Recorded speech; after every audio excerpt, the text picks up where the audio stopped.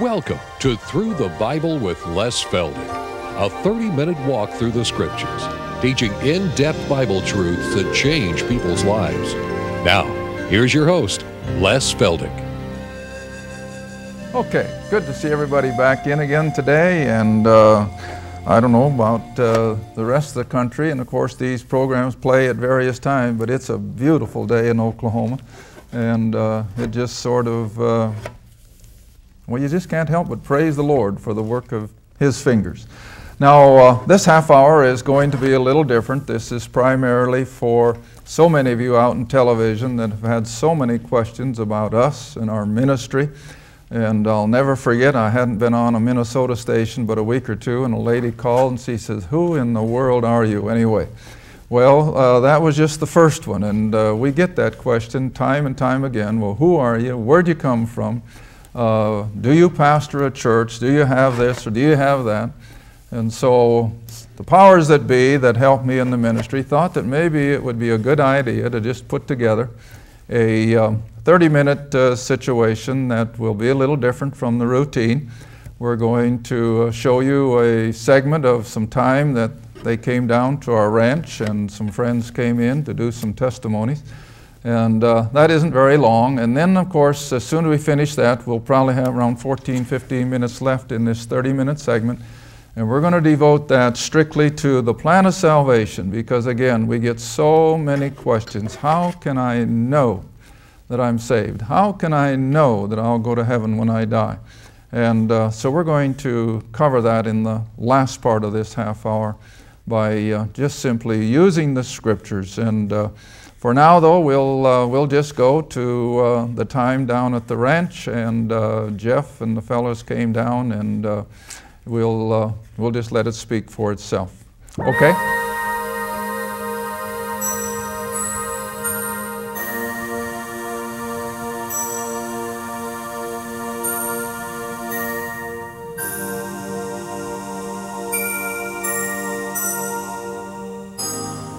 grassroots, down to earth, real and pure.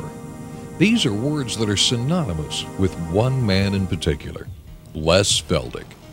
In this day of high speed communications, the global community, cell phones, and even instant coffee, you can always count on one man to keep it simple.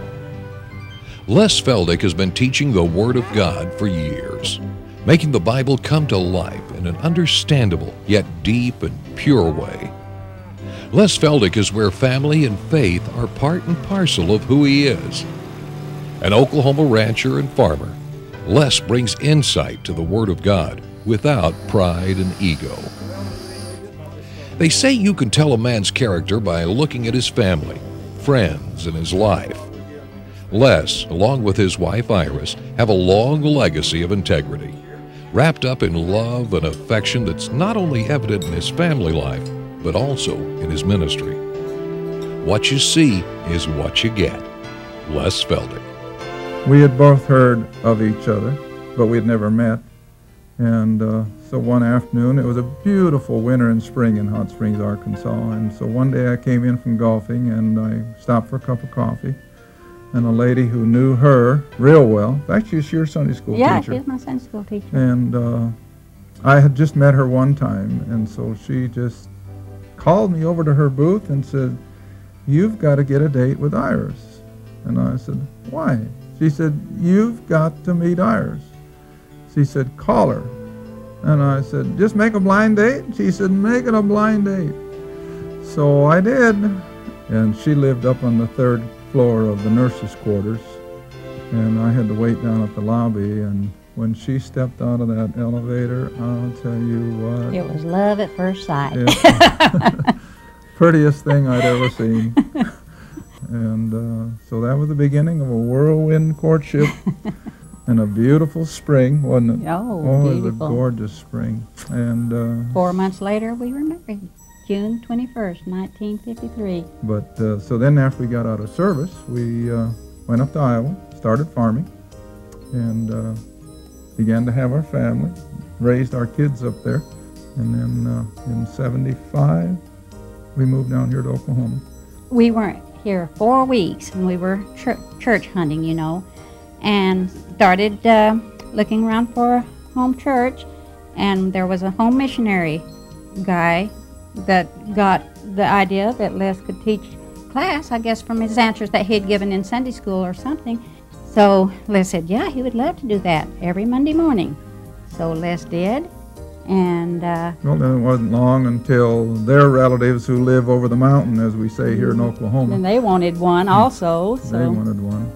Well, then after a couple months, then the women wanted to know why they couldn't have a class after the men went to work. So we would just simply have a cup of coffee and then teach a women's class right after that.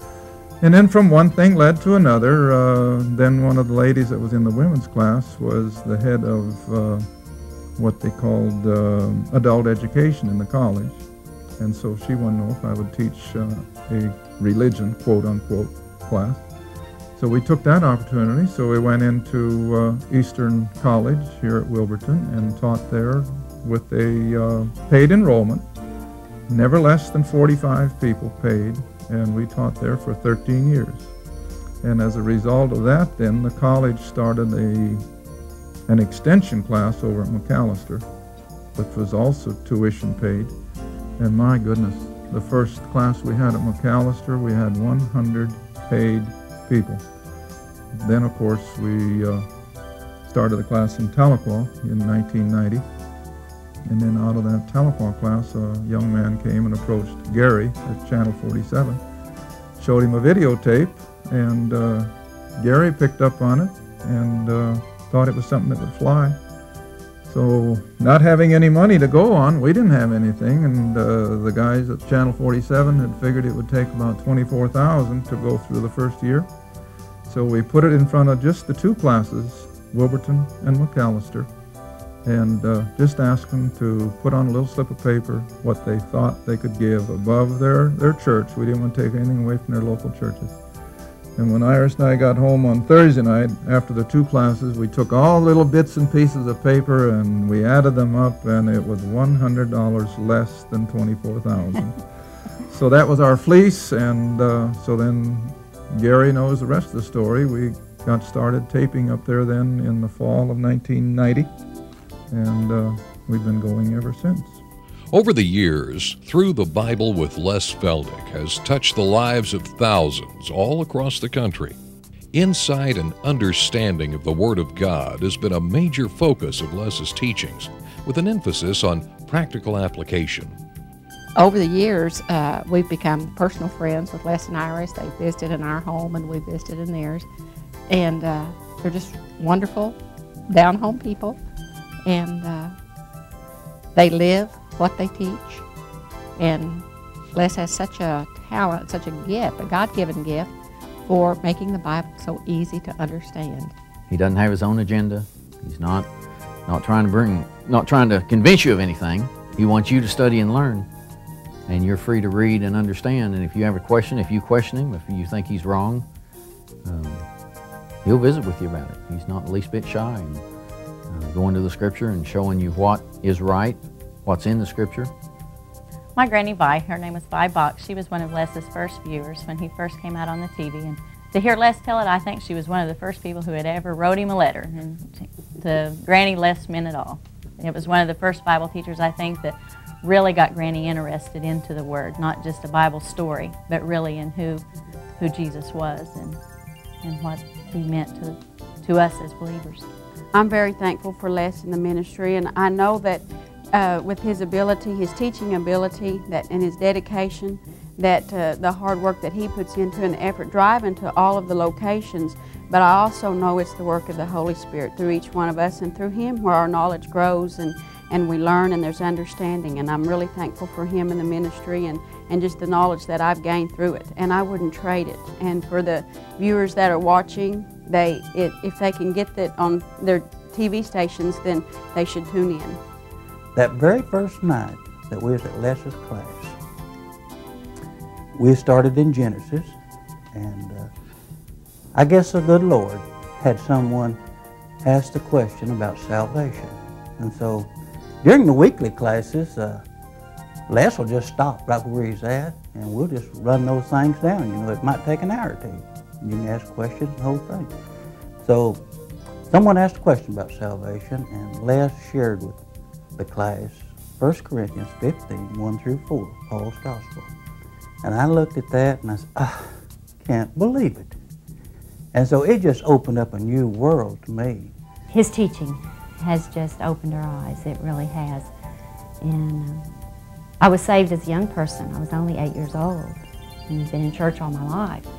But the change that Les has made for me is to take me beyond those favorite Bible passages, the ones that we all know, to take me beyond the Bible stories that we're taught, and to take me really into the Word, and to know one of his, his phrases is, you know, what does the Bible say, and what does it not say? You know, Scripture, what does it say? And that's what he's really helped me to listen and learn as I read, and to listen to others as they teach. Les can teach you how to study the Bible and to think and, and compare one verse with the next. And that's the only way I've ever got to get anything out of the Bible is, is that a way. The whole thing excites me, and, and I want to share it with everybody. I think that's the biggest thing. And uh, we, we do get the tapes and the books, and when it's possible, we share with uh, co-workers and, you know, just whoever will listen. Well, what I feel good about the whole thing, it isn't that they're looking to Les Feldick. It's just that Les has been able to get them into the Word and see it for themselves. Because I wouldn't want people to just go and say, well, this is what Les says. Uh, that won't cut it any more than when they say, well, this is what my church says. We have to get people to understand what the Word of God says and what it doesn't say, which is just as important. And so that's what thrills us when we get all these letters that say, for the first time in my life, I'm understanding my Bible, I'm enjoying my Bible, and uh, I'm searching the scriptures. So this is what we want. Les Feldick Ministries is an outreach where Les, Iris, and the entire family do everything from sending out tapes and accounting to opening mail, answering the phone, and reading letters.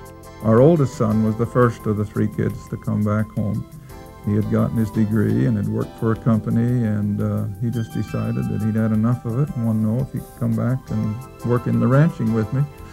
So that was in 1990, and uh, it was that very fall then that we began the television ministry, which we could not have done had Greg not been here to hold things in order while we're gone. And then uh, just, oh, just when, when we needed somebody to take care of the computers and answer the phone. Todd and Kim came back, who is our youngest, and his wife. And uh, they left a good job out of Washington State University and came back and uh, worked in with us. And Kim just jumped in and uh, has been so much for the ministry. Well, then we had to have somebody do the accounting and the bookkeeping, and uh, my daughter came in and just became adept with the QuickBook bookkeeping system on the computer. So now all the kids are back home and uh, they're all involved in the ministry. They all help when we need help with the ranching, and so it's just a family effort. Proceeds from the show go directly into teaching the Word of God and getting the message out. God has instructed the body of Christ to be good stewards of His gifts, and Les Feldick Ministries takes that instruction to heart. Some of the people that were interviewed uh, for this have been contributing every month ever since we first started. And others have come in now and have become just as faithful. And uh, I know we have uh, we have one couple in particular that uh, has given a fair amount every month. And she says, so typically, that now that we understand the scriptures and have learned how to study them, we can share it with others, and it's such fun. And she always underlines the word fun. And, and it is. When, when you get adept at the scriptures, it is just so thrilling to share them with other people. And so these are the rewarding things that have happened. You can be assured that your financial gifts are used with the utmost integrity and ethics, and that Les and Iris truly care about the well being of their partners. Les Feldick Ministries, enriched understanding of the Word of God. Okay, I will finish this half hour uh, segment by stressing some salvation verses. And so, for those of you in the studio, I'm going to have you turn with me to 2 Peter chapter 3. Now you say, uh, here you're such a proponent of Paul's writings and you're going to start with Peter. Well, I'm doing this purposely. I guess I laid awake most of the night last night trying to figure out how I could do, do this the best. But you see, most of the Christian world hangs on Peter in Christ's earthly ministry and uh, they ignore Paul. You know, I've said it so often, they almost treat him like an ugly stepchild. So, uh, with that in mind, I'm going to show you what Peter says about the Apostle Paul. And then we'll naturally go back to the writings of Paul to uh, pick up our, our plan of salvation. So 2 Peter chapter 3, dropping down at verse 15, remembering now that Peter writes this about the same time that Paul writes his prison epistles. I think they are both martyred probably within a year of one another in uh, probably 66, 67 AD. So this is not Peter writing from Pentecost. This is Peter writing some 30 years later. Now look what he says. Chapter, uh, 2 Peter chapter 3, verse 15, and he says, An account or understand that the long suffering of our Lord is salvation. See, that's the number one reason for this whole book, is to bring lost humanity to a knowledge of salvation.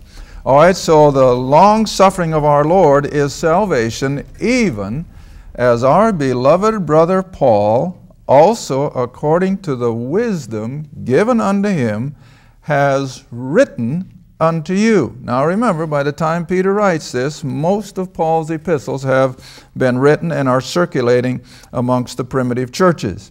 All right, and then verse 16, as also in all his epistles, speaking in them of these things. Well, I always ask that what things? Salvation, how to be saved, and how to know that you're saved.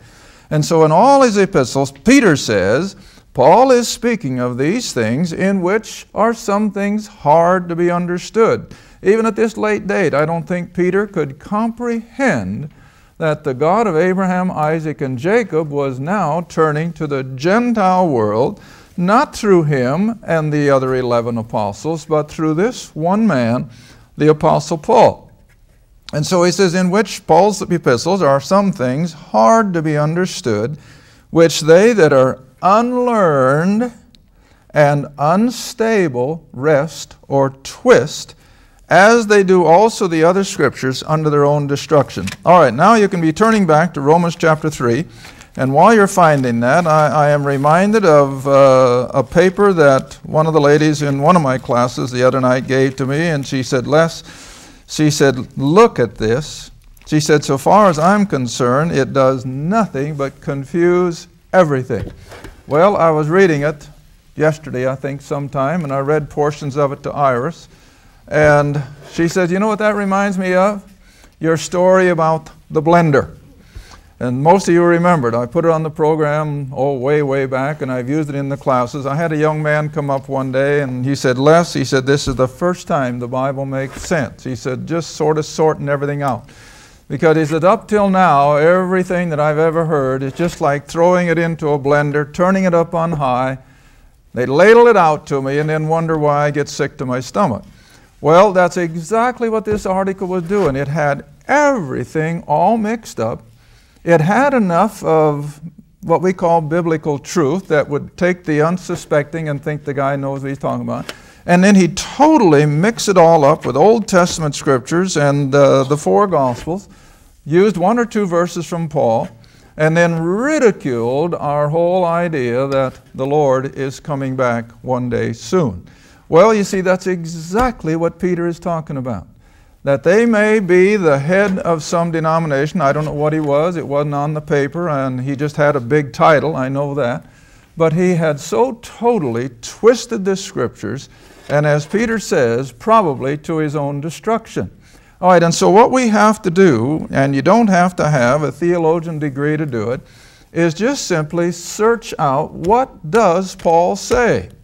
Not what Jesus said, because everything Jesus said was to the Jew under the law. And that can't be appropriate for us today. Peter and the eleven still preached everything to Israel that was still under the law.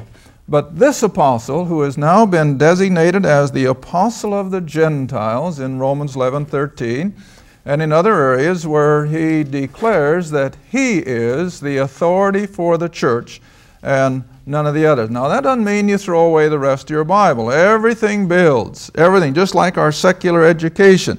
And again, last night as I was laying awake, I, I, just thought of this. Do you think an electrical engineer that's up into the very higher echelons in Silicon Valley and in the computer world, do you think he'd get there if he never had his fourth and fifth grade arithmetic? I don't think so. I think that everything rests on the things that are elementary and they come on up. Well, it's the same way with the scriptures. So you don't throw away everything besides Paul but you hone in on what Paul says. All right, now the first step of faith, the first step of faith for salvation is to believe this verse. And it's Romans 3, verse 23, where Paul writes, For all, every human being, all have sinned and come short of the glory of God. Why? Because we're sons of Adam. Every human being was in the federal head of the human race, Adam. And when Adam fell, the curse fell on every human being who would ever be born. So we're born sinners. You know, I've put it on the board so many times over the last few years. We're not sinners because we sin. We sin because we're born sinners. And so this is what this verse is saying that the first thing we have to understand in our step for salvation is to believe what God has said concerning, our Adamic background. We are lost. We are without hope. We have come short of the glory of God. That's the first step of faith. God said it. I didn't. You don't have to wait for some preacher to tell you that. You just simply know that God says that you are lost you have been separated from him by virtue of Adam. All right, now I'm going to back up a page or so to chapter 1 in the book of Romans. And you'll notice as we go through these, all these verses are now where Peter said to go. We're in Paul's epistles. Every word I'm going to use in these next few moments will come from Paul. Romans 1:16 in verse you all know, I am not ashamed of the gospel, not a gospel, the gospel. It's the only one. For it is the power of God unto salvation. What is? The gospel is. It is the power of God unto salvation to everyone. Now, here again, watch what's not in here. Not a word in here about baptism, not a word in here by works, not a word in here about giving. It's to everyone that believeth. And believing and faith and trusting all mean the same thing. So this gospel has to be appropriated by believing it. And to everyone that believeth, to the Jew first, and also to the Greek. All right, now I'm going to have you turn all the way with me quickly to Ephesians chapter 1, where we have almost the same kind of thinking from the pen of the apostle. Ephesians chapter 1, and we're going to start in at uh, verse 13.